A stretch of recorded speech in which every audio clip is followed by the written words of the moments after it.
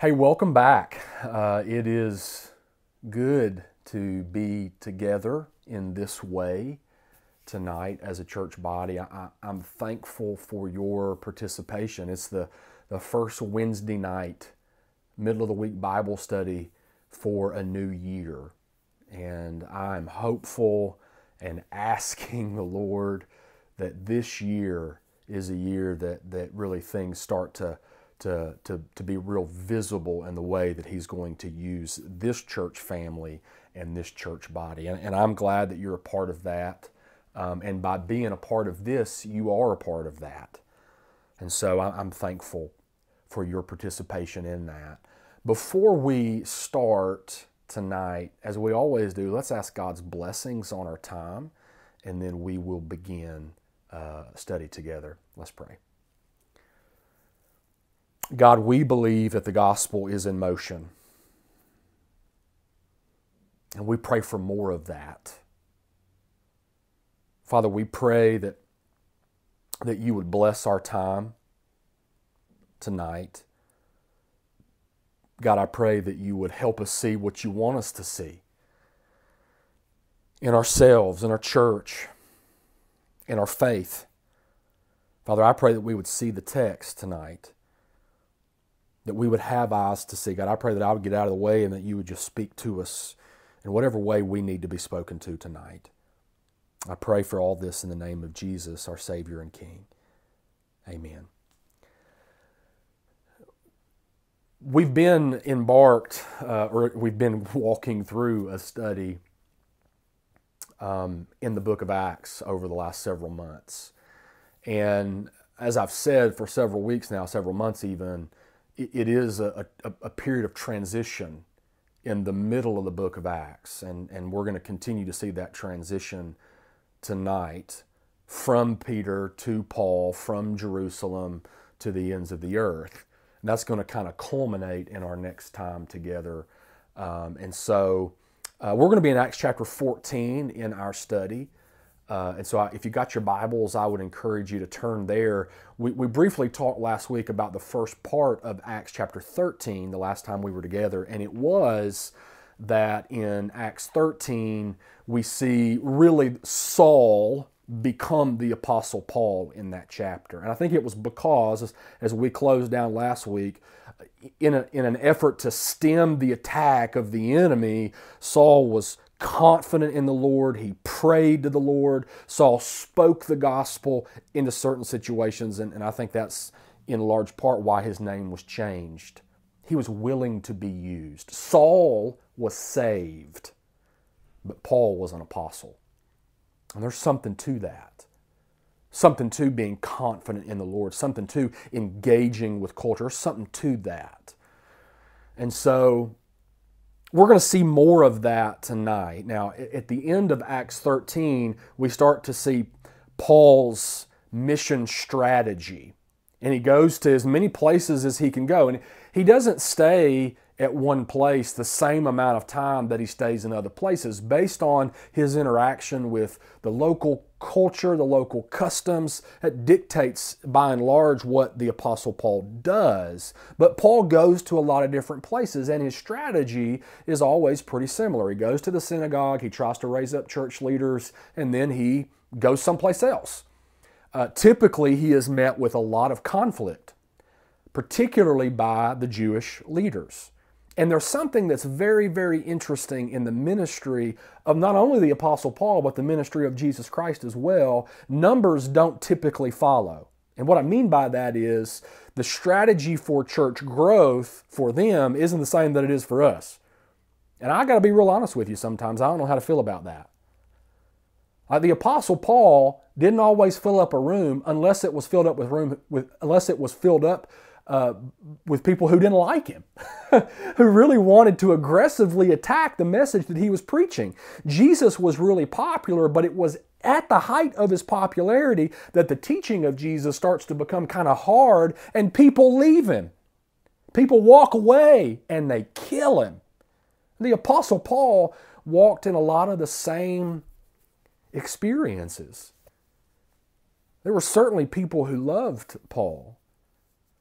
There were just as many, if not more, people who didn't.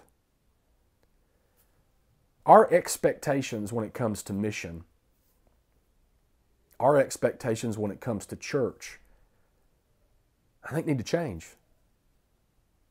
Certainly, from time to time, as we think about numerical growth, we certainly want God to save people and we want to do what we can to grow a church. But numbers do not define success. I'm going to say that again. Numbers do not define success.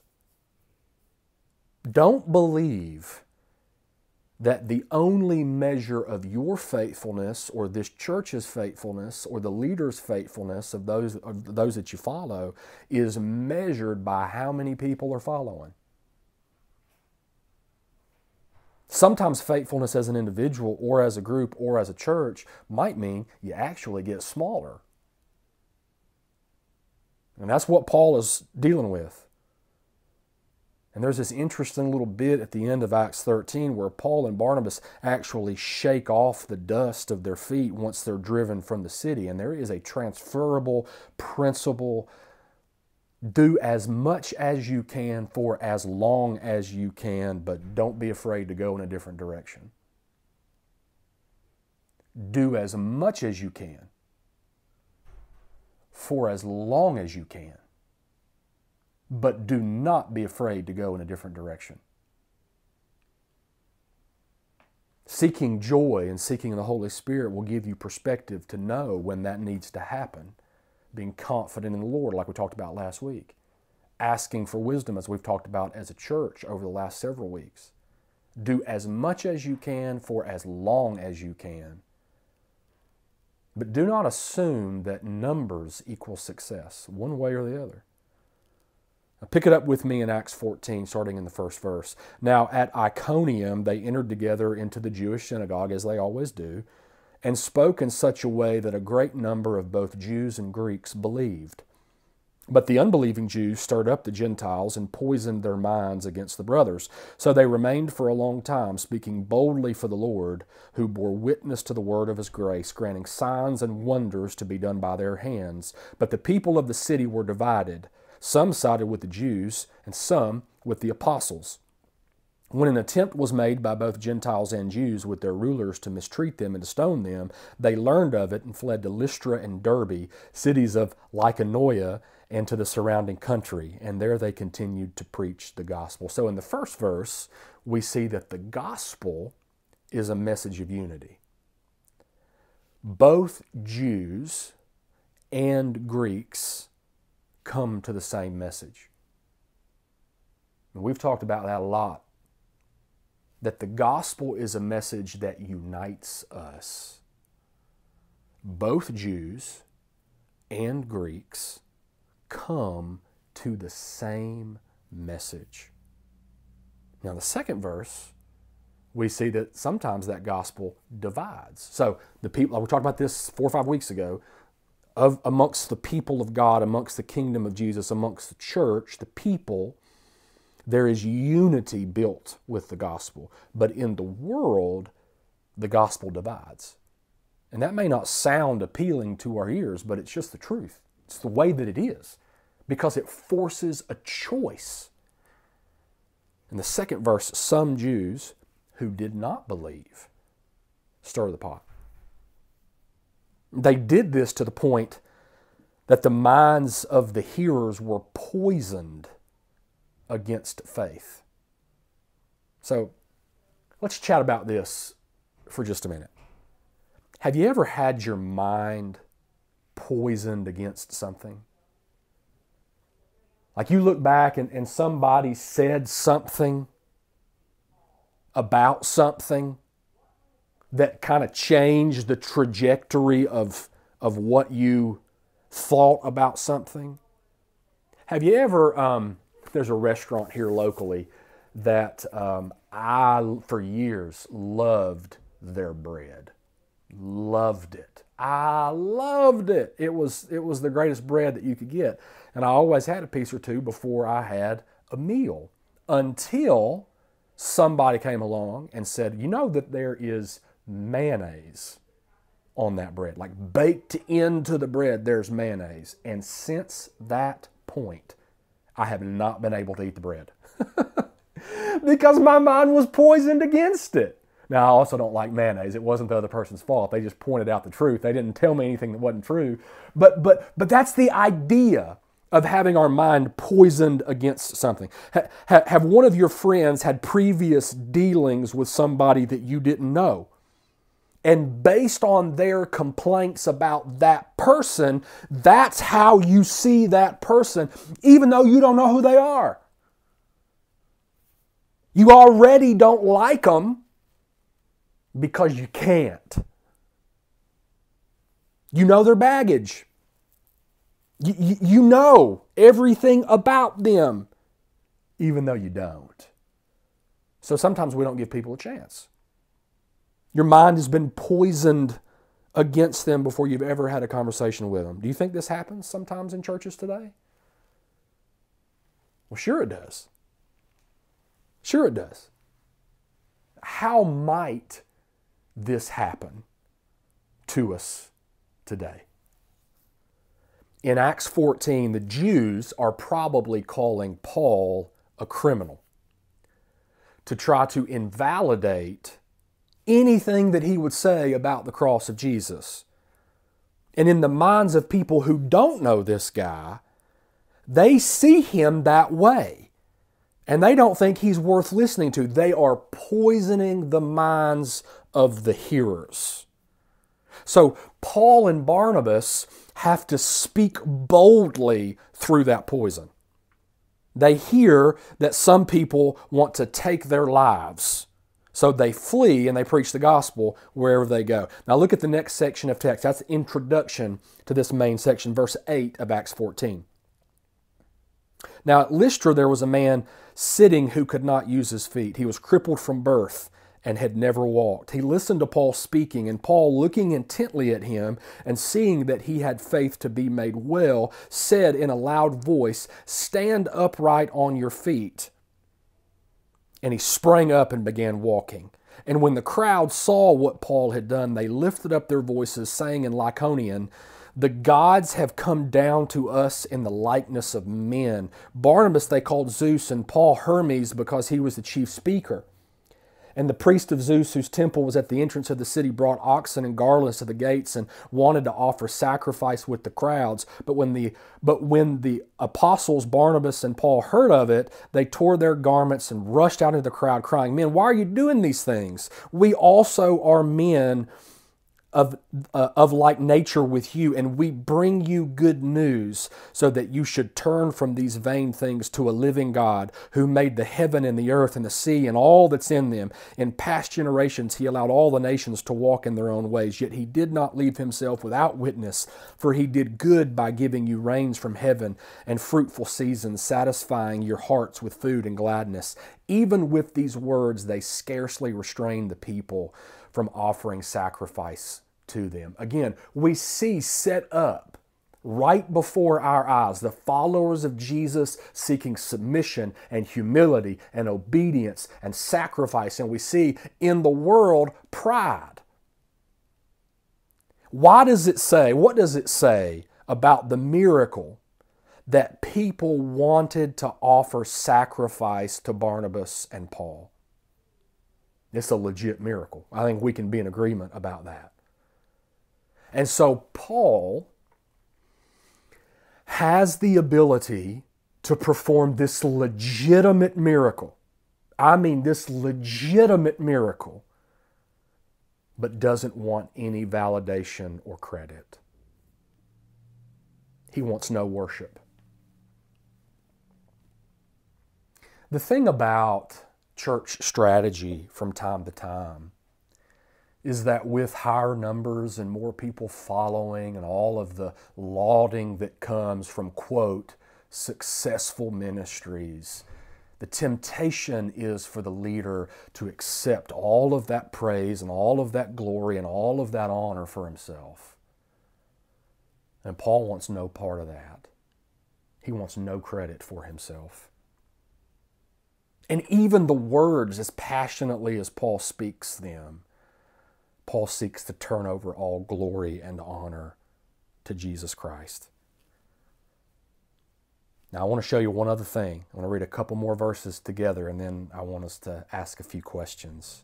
Acts 14, verse 19. This sets up the stage.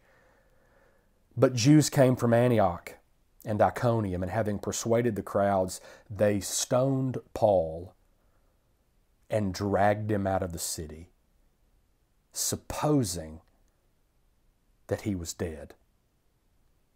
But when the disciples gathered about him, he rose up and entered the city, and on the next day he went on with Barnabas to Derbe. When they had preached the gospel to that city and had made many disciples, they returned to Lystra and to Iconium and to Antioch, strengthening the souls of the disciples, encouraging them to continue in the faith, and saying that through many tribulations we must enter the kingdom of God.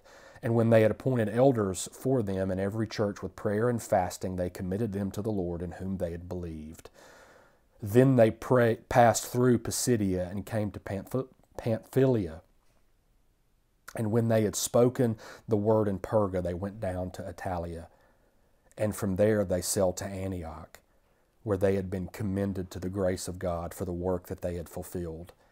And when they arrived and gathered the church together, they declared all that God had done with them and how he had opened a door of faith to the Gentiles. And they remained no little time with the disciples. Let me ask kind of a rhetorical question.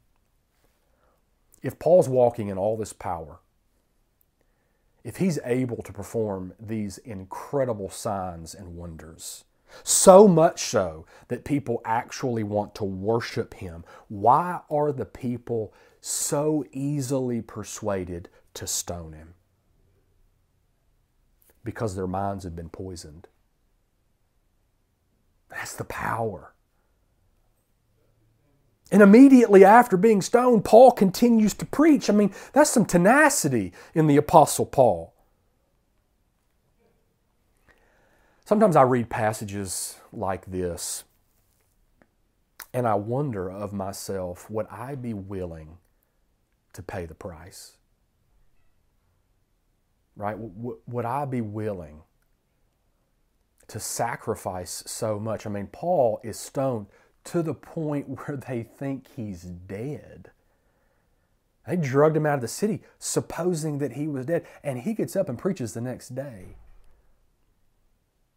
And it's, it's, it's this kind of character that Paul just has, it seems, like in spades, where we compare ourselves against Paul and we say, I, I don't know if I could, I don't know if I could ever do that.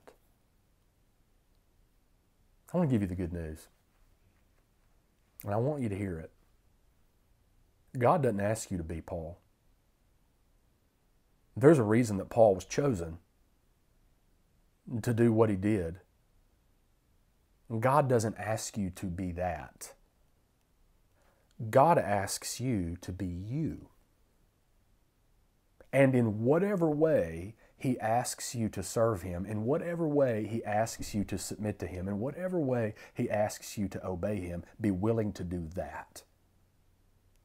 And maybe on one day it is being stoned, but probably not. Maybe He asks you to be the most faithful person that you know how to be in your line of work to be faithful to your children, to be faithful to your spouse, to be faithful to your career, to be faithful to the church.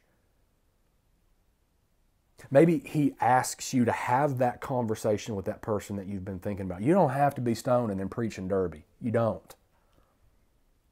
That was Paul's lot. That was Paul's call. That was Paul's commission. And he said yes. What God wants from you is for you to say yes. Even though the minds of people have been poisoned against us? Absolutely. to say yes and to square up culture and to in, engage with culture and to say yes to God. That's what He wants from you. And I think that's what Acts is teaching us as the gospel is in motion in our own hearts. You don't have to sign up and to intentionally force yourself to be stoned and then wake up the next day and preach in Derbe. What God asks of you who've had the gospel in motion in your own heart is to say yes to the next thing He calls you to. And then to say yes the next day, and to say yes the next day. That's what He wants from you. That's what He wants you to do. Don't define success by popularity or with numbers or with everybody eating out of your hands and saying you're the greatest thing ever. That isn't inherently successful. In fact, Jesus Christ and the Apostle Paul experienced the other. Whatever it is the Lord calls you to do, be willing to do. And the other thing that the book of Acts teaches us over and over and over again is whatever He calls you to do, He's going to equip you for. There's not a job He'll give you, there's not a thing He'll call you to do where He won't say, Here's the tools to do it. The same was true for the Apostle Paul. You don't have to suffer in the same way that Paul did, you have to be willing to. So take some inventory. Take some inventory personally. What are you willing to do? Let's pray together. God, as we start a new year, I pray that you would be with us. And Father, I pray that we would do the hard work of asking ourselves, what are we willing to do? Father, we're thankful for this book. We're thankful for this study. We pray that you would bless us as we continue on at the next time. We pray in the mighty name of Jesus. Amen. Be blessed this week.